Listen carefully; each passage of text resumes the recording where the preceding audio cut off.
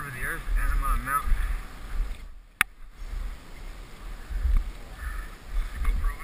Oh, I'm trying to, look to either side without falling.